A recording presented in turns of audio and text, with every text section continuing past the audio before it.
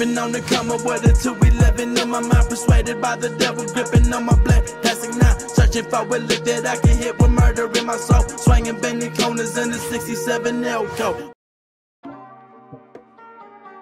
As we know the barrier barrier fruit is a paramecia type devil fruit that allows the user to generate barriers, making them a barrier human.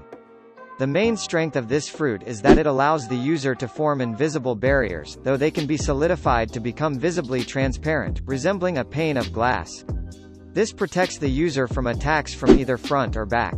Kurozumi Semimaru, the former user of this fruit, demonstrates that the barrier can also withstand an extremely powerful slash from someone as powerful as Kozuki Oden, a master swordman, whose sword could cut the mountain god. After the latest chapter, the barrier barrier fruit just became insanely more overpowered in my eyes. Even a beast like Oden can't break past it, the same dude who stood his ground against someone like Prime Whitebeard.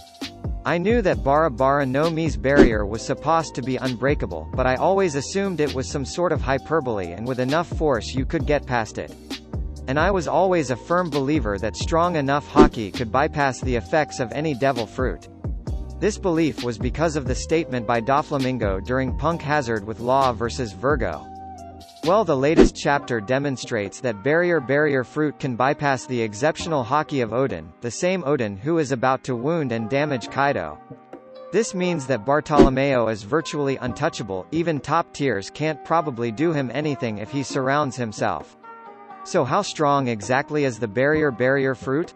Could Kaido break it? And Prime Whitebeard, Prime Garp or Roger?